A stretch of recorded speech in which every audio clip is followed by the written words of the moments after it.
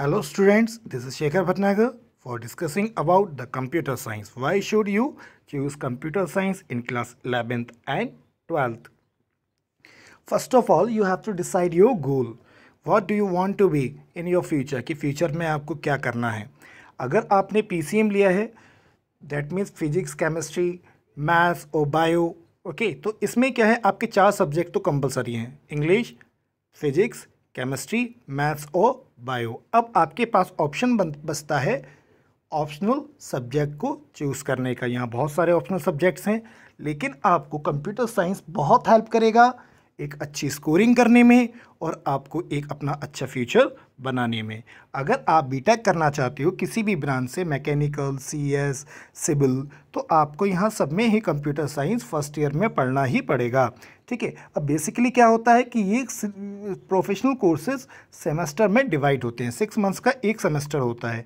अब अगर आपको प्रोग्रामिंग नहीं आती है तो आपको समझने में ही काफ़ी टाइम लग जाएगा कि प्रोग्रामिंग होती कैसे है? और इस, इतने ही बीच में आपका एक सेमेस्टर ख़त्म हो जाएगा और दूसरा स्टार्ट हो जाएगा।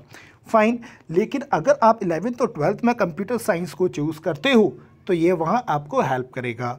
आप इससे अननोन नहीं होंगे अपने बीटेक में और आप इजीली इसको समझ सकते हो और काफ़ी पोर्शन ऐसा होगा जो आपको पहले से ही आता होगा। आप प्रैक्टिकल में नए नहीं होंगे। आप एक अच्छा अप्रोच इसमें कर सकते हो। ठीक है, अगर आपको इलेवन ट्वेल्थ में पाइथन सीखते हो तो इसमें आपको apps development web application development robotics और हैकिंग से रिलेटेड आपको पढ़ाया जाएगा। फाइन ये आपको हेल्प करेगा जॉब जॉब को सर्च करने में। If if you want to be a job after your twelfth तो ये आपको जॉब सर्च करने में भी हेल्पफुल होगा। फाइन जॉब के लिए आप software engineer Python developer research analyst data analyst data scientist software developer की डेजिग्नेशंस आपको इजीली मिल सकती हैं। लेकिन कब? जब आप इसको पढ़ेंगे। फाइन देखो, बिना मेहनत के तो कुछ नहीं मिलता है। तो इसमें भी पढ़ना पड़ेगा, लेकिन इतना नहीं पढ़ना पड़ता है जितना फिजिक्स केमिस्ट्री मैथ्स या बायो में है। वो बहुत टिपिकल सब्जेक्ट्स हैं, उसका जस्ट आप ट्वेंटी परसेंट समझें। This is not too much tough बहुत इजी है। पहले हम लोग सी प्लस प्लस पढ़ते थे, लेकिन सी प्लस प्लस बहुत टफ था, इसलिए सी सी ने उसको रिप्लेस किया विद द पाइथन और आज के ट्रेंड में पाइथन ही सबसे आगे चल रहा है। स्कोरिंग की बात करूँ तो एग्ज़ाम को टू पोर्शंस में डिवाइड करते हैं।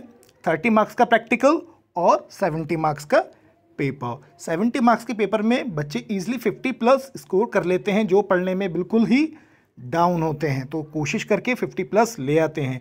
और अगर बात करूँ, मैं जब से कंप्यूटर साइंस पढ़ा रहा हूँ नाइन्टी परसेंट बच्चे अच्छे स्कोरिंग कर लेते हैं ईज़िली ठीक है, इसमें आप अपने सब्जेक्ट्स के रिगार्डिंग पढ़ेंगे, बाकी सब्जेक्ट्स में क्या है, सिर्फ़ आप स्कोरिंग के लिए पढ़ रहे हो। लेकिन ये आपको हेल्प करेगा आपका फ्यूचर को बिल्डअप करने में। फाइन और ये बहुत इजी है। बाकी आप मुझ पे छोड़ दीजिएगा कि किस तरीके से मैं प्रिपरेशन कराऊँगा और इट्स माय प्रॉमिस कि 90 प्लस आप इजीली इसमें स्कोर कर सकते हो। Thank you if you having any doubt regarding you can contact me at my personal window